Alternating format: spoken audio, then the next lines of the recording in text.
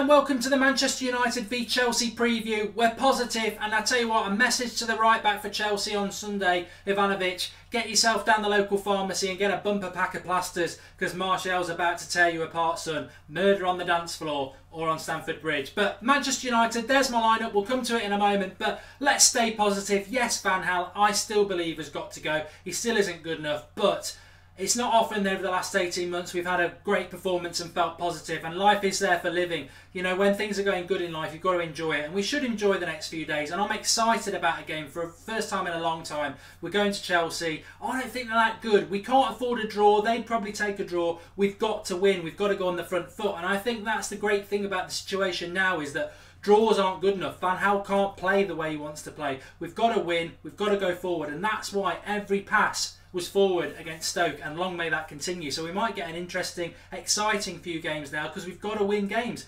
Spurs and Leicester are doing it. There's still that gap. We've got to keep going. And who knows, if we keep playing this way, the United way, we might actually win something. I said the Europa League might be our best route into the Champions League, and it still well could be. But let's crack on with this lineup. It isn't the team that beat Stoke, and it will be the team that beat Stoke on Sunday. I am realistic, it will be the same 11, but this is what I would go for. I know people will say, oh, you're getting on Fellaini's back. Fellaini played really well against uh, Stoke uh, the other night. I'm not convinced it wasn't Giggs wearing a wig, but you know what? He did play well. But it's what I call the clever, Cleverley effect. One sunny day doesn't make a summer. Fellaini's been a very, very poor for a long, long time. He played well against Stoke why take that risk against Chelsea? He will go back to form at some point. He's not going to suddenly become a great defensive midfielder. And I still think that if you're given the choice of Schneiderlin and Herrera, you pick them over Fellaini. We can do that on Sunday. Let's pick our best team. It's the same with Lingard. Let's pick our best team. I'd like to see Mata out on the right, Herrera in at 10, with Schneiderlin and Carrick in the midfield. Obviously Martial on the left. He's the star player at the moment. He's what we need. And that midfield would cause problems. Yes, we're playing well. Yes, he won't change the starting 11, but why go in with two potential weak um, effects in the team in Lingard and Fellaini? Let's let's put our best team out. That's why I'd go with that. It's not really.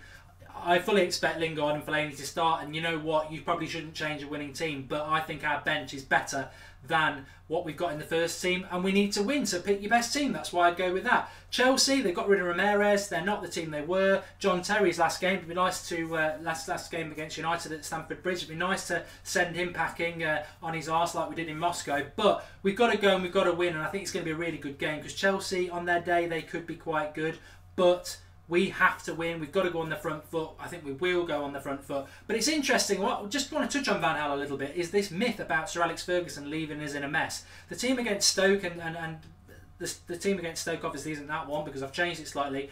But it, uh, the most players it had in the team were from Louis Van um, from, with Sir Alex Ferguson with four. Louis Van Gaal had three, but had four of his signings on the bench. I mean, this is the thing about Louis Van Gaal. I think he's defined by his signings a little bit. He tends to treat his signings quite badly when you think about Herrera, Darmian, Memphis, Di Maria, Falcao. Over the last two years, he's treated his signings quite badly. But this myth about Man United, uh, Sir Alex Ferguson leaving us in a mess, Rooney, Carrick, De Gea, Smalling, the kingpins of, our team, really. The only one who, who, who isn't, who, who did quite well, was Mata, and that's one of Moyes' signings, and Fellaini. So Van Gaal, for all his philosophy, is still very reliant on Sir Alex Ferguson. I think that's quite an interesting thing to say. But, but, he keeps saying but a lot. We've got to win on Sunday. Do I think we'll win? We don't have a fantastic record against Chelsea. I don't know who the referee is yet. I think that's key. It always is at Chelsea. It tends to be Martin Atkinson, and we've been robbed there in the past. We need a strong referee because I think Ivanovic, in all serious, will get torn apart by Martial and I think he's a red card waiting to happen. So we need that referee, yellow card early days, and that could define the game. We need a strong referee in this game. I think Chelsea are on the ropes. They've got to win as well. They won't want to lose. We've got to win. It's all exciting. Used to be Chelsea against Manchester United going for the title. This year it's a very different situation, but it's still exciting as I said, I think both teams have got to win it, and I'm, I'm really, really excited for it. And I think we should be. And you know what? On Monday, we could all be crying Louis Van Gaal out again after another dire performance and, and being beaten by Chelsea. But for the moment, we're on a positive. I do agree that Stoke weren't that good. They were surprisingly bad. Peter Crouch in any team now is just is, is a red flag to a bull. And um, I thought they played too too defensively. But uh, let's go for it against Chelsea on Sunday. I'm going for the win. We've got to be positive. We've got to attack. Thanks for watching. Please like the video, it makes a massive difference, and I'll speak to you live after the game on Sunday.